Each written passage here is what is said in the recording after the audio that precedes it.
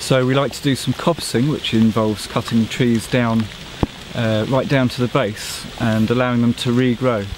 This is great because it's a, a rotational kind of management. We do the cutting down and then let them grow back and then after 12 to 15 years we'll come back again and cut them again. So this is great for um, all kinds of species. So when they're first cut, the bare ground that's provided is great for lots of invertebrates to bask and also provides a good flush of ground flora. When the trees get a little bit older, they're great habitat for birds to nest in and also provides a good amount of cover for reptiles.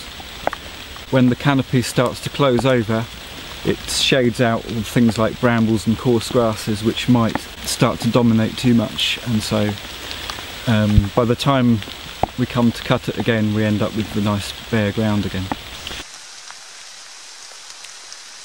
So some we leave on site to rot down, which is brilliant habitat for invertebrates. Sometimes even birds nest in amongst the habitat piles as well.